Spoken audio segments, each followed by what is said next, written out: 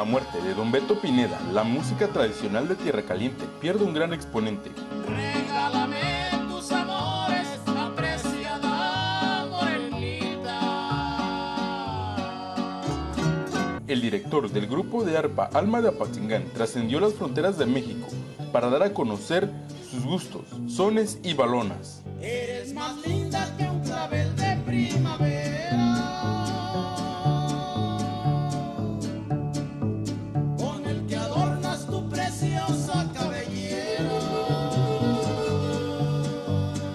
Beto Pineda, integrante del primer grupo de arpa grande de Tierra Caliente, los calentanos de Beto Pineda, supo imprimir a su música el verdadero sentimiento de los hombres y mujeres de Tierra Caliente del Valle de Apatzingán. Préstame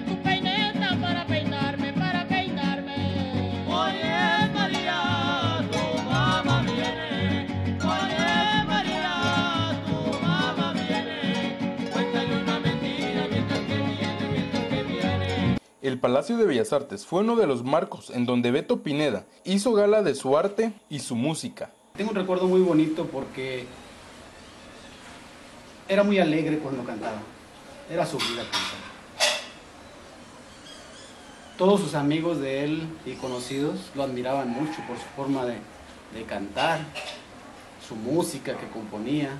Beto Pineda recibió el último adiós con el reconocimiento de que su lugar difícilmente podrá ser ocupado. El orgullo de Huetamo y de esta hermosa ribera es un maestro del violín y hasta la arpa tamborea.